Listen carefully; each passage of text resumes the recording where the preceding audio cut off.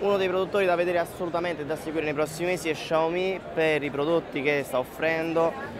quindi ambito mobile, cuffie, lampade, un intero ecosistema direttamente disponibile per la casa e non solo. Lato smartphone ha un'esclusiva veramente interessante che è il Mi Mix 2, telefono completamente borderless, tutto schermo, dovremmo vedere stasera Asus con i nuovi Zenfone 5 ma nemmeno in quel caso pare ci siano questi tipi di schermi, quindi completamente senza una parte superiore sotto questa piccola banda nera. In termini stilistici chiaramente è veramente bello, in ceramica, sicuramente un prodotto di ottimo livello che arriverà anche in Italia direttamente al centro commerciale perché Xiaomi sta lavorando secondo quando quello che ci è stato spiegato anche per la grande distribuzione. Da tenere d'occhio anche la 1 sempre per il prezzo per l'entry level, è un ottimo telefono, tutto licenziato chiaramente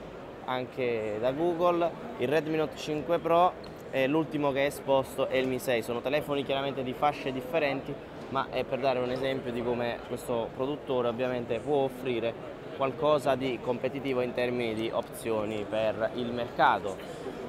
Una delle cose che mi piacciono di più e che spero di provare prossimamente è il Mi Notebook Pro, quindi segmento notebook, c'è laggiù c'è il Mi Notebook Air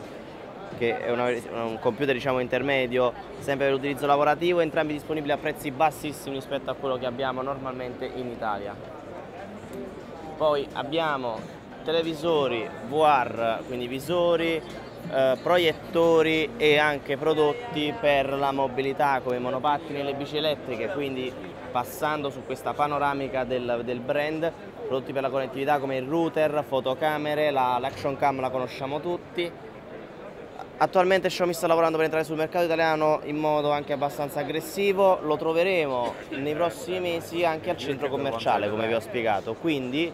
avremo ovviamente anche assistenza diretta di due anni a prezzi leggermente superiori, sempre ultra competitivi e con l'entrata diciamo, sul mercato di questo player chiaramente ne traiamo vantaggio noi consumatori perché avremo maggiore concorrenza. Sicuramente da seguire, i prodotti sono di indubbia qualità, quindi da tenere d'occhio.